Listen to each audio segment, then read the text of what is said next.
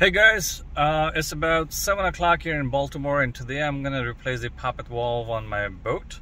I have never done that before, but a lot of engines uh, that fail um, is because of poppet valve. Poppet valve uh, plays a very important role in Mercury engine. Uh, what it do, uh, it opens up the water flow to the engine after 1500 RPM.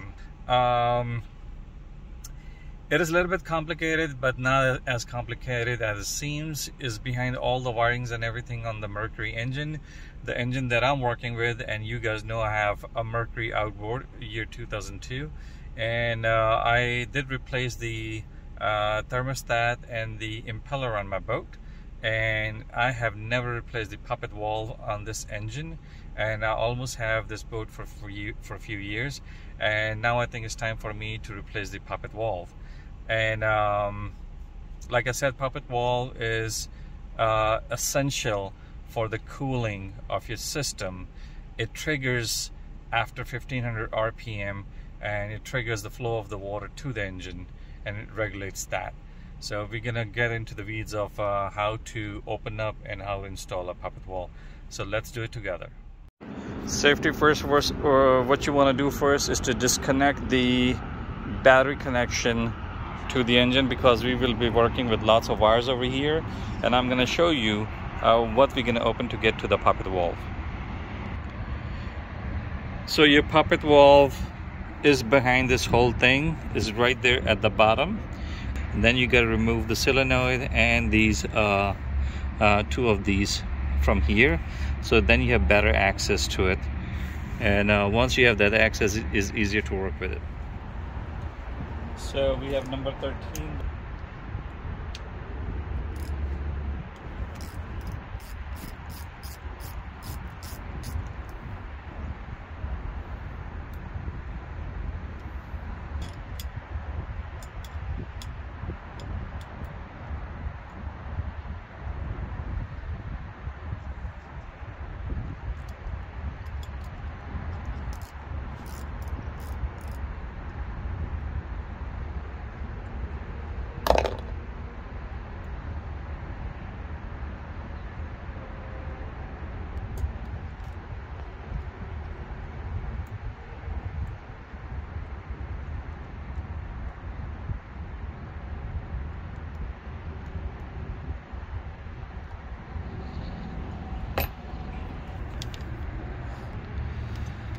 Now we're gonna open up these right here to remove them out of the way.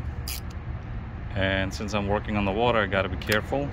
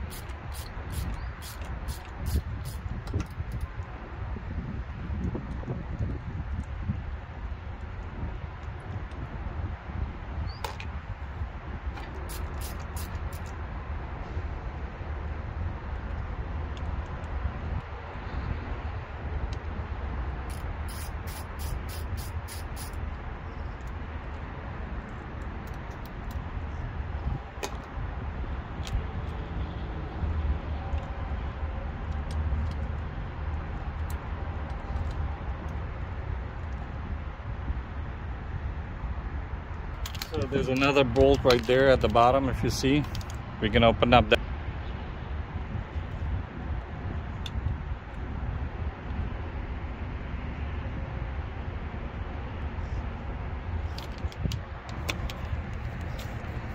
And right behind there, that's your poppet valve. We're gonna open up four screws and it should come out. And it's right behind there. See that? That's what it is. So let me open up that. Okay just to show you to open up that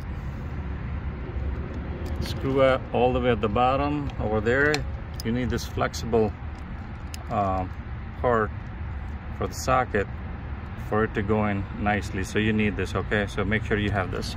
And the size is number 13 This is very important to have the extension and this flexible sucker thing for you to open up the fourth bolt.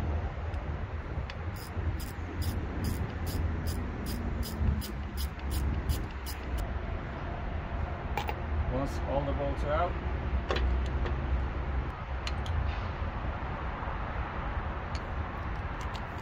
this is what it is. We can disconnect from here, then we work on it.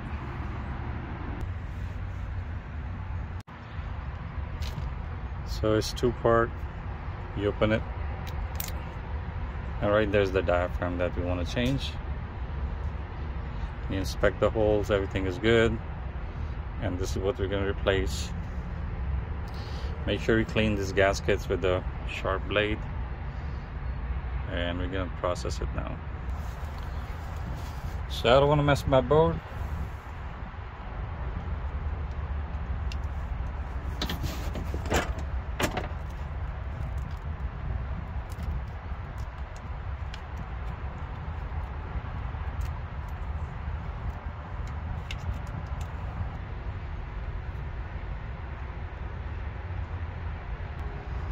So if you want to look at the poppet valve, how it is, there's a plate, a screw, the diaphragm, the spring, the plastic washer, and this thing.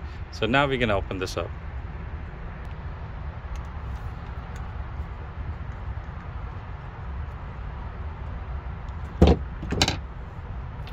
So once we open,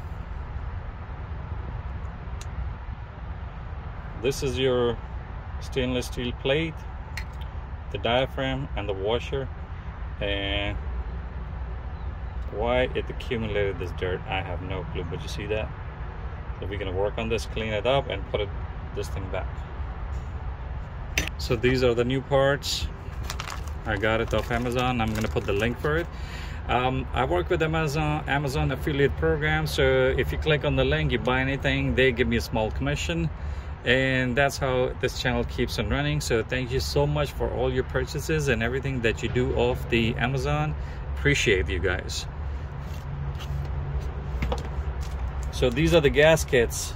Uh, the gaskets come later on but this is the part that we need to assemble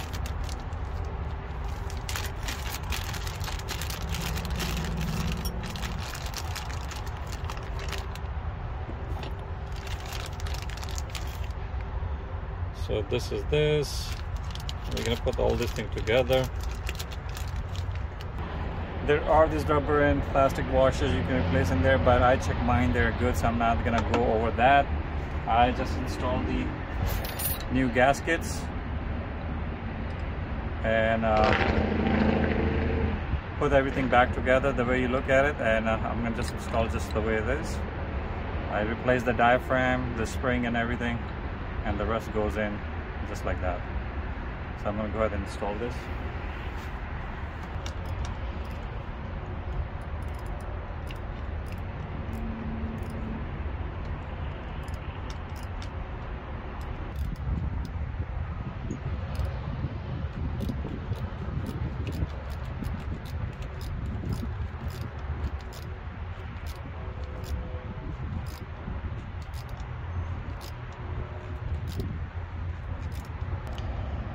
Now we got, everything back together. We're gonna put the things the way they were.